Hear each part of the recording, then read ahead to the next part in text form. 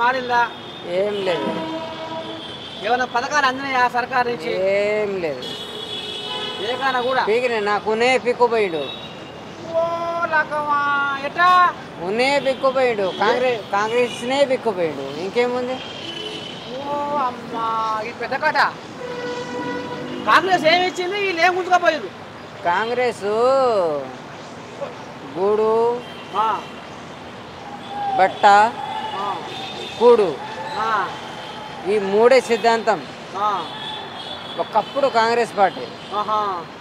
మధ్యలో కాంగ్రెస్ పార్టీ చెప్తలేను. ఒకప్పటి కాంగ్రెస్ పార్టీ.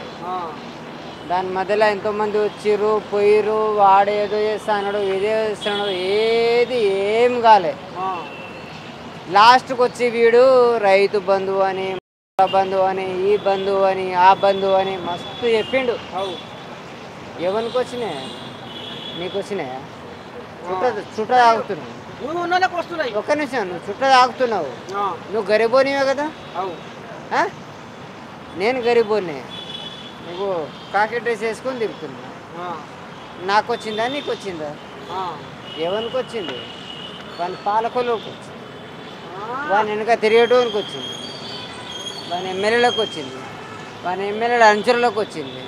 ఎవరికి వచ్చింది వీడు ఉంటే ఎంత పోతే ఎంత? పెడతాం. పక్కా పెడతాం. బిడ్డ చెప్తున్నా.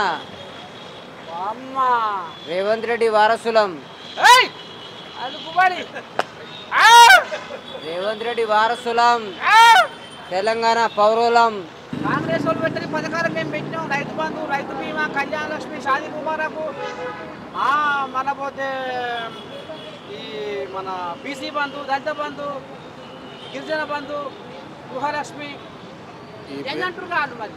ఈ ఈ పేర్లు చెప్పుకొని వాళ్ళు దోపిడీ వంద రూపాయలు ఖర్చు వంద రూపాయలు శాంక్షన్ చేపించి సగం వాళ్ళు తిని సగం వీళ్ళకి ఇవ్వటం తప్పితే దానివల్ల వచ్చేది లేదు ఇది అయ్యేది లేదు. దీనికంటే ఎక్కువగా అనేది కాంగ్రెస్ అనేది గతంలో అనేది కాంగ్రెస్ వాళ్ళు ఏం చేశారని చెప్పని కేటీఆర్ అనేది రోజు పేపర్లో కానీ అనేక రకాలుగా కేటీఆర్ చెప్పడం జరిగింది. అసలు కాంగ్రెస్ కనుక లేకపోతే అసలు ఈ టీఆర్ఎస్ ఎక్కడిది? ఈ కేసీఆర్ ఎక్కడిది? ఎక్కడోడు? ఈ కేటీఆర్ ఎక్కడోడు? వాళ్ళు అనేది యాభై ఐదు సంవత్సరాల్లో వాళ్ళు చేసినటువంటి పనులు అనేది అసలు వీళ్ళు ఏం చేశారు?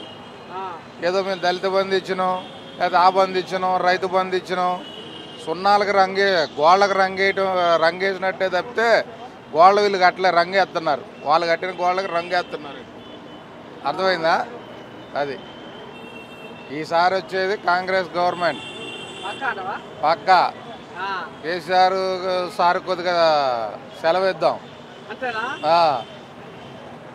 గిరి బిడ్డలారా మొత్తం మీద నీ దండం పెడితే ఖైరతాబాద్ నియోజకవర్గం మొత్తము ఇల్లు ఇల్లు సందు సందు గల్లి గల్లి గాలిస్తే ఈ రకంగా మరి జనాలు వాళ్ళ కడుపులలో ఉన్న అమ్మాయిలు మొత్తం బయట పట్టిరు ఇక మరి ఖైరతాబాద్ సంగతి చూసుకుంటే కారు ధర అటు ఇటు ఉల్ట పంట అయ్యే కోపే కొడుతున్నది. మరి ఇప్పటిదాకా మీరే విన్నారు జనాలే? ఇక మరి ఈ కథ నడుస్తుంది బిడ్డలారా ఇక మళ్ళీ రేపు ఇంకో నియోజకవర్గం పోయి ఆ కథ మాత్రమే చెప్తా అంతవరకు దాకా చూస్తూనే ఉంటుంది మన బిగ్ టీవీ కెమెరామెన్ మహేష్తో మీ బిగ్ టీవీ కథ నా కాక ఖైరతాబాద్ నియోజకవర్గం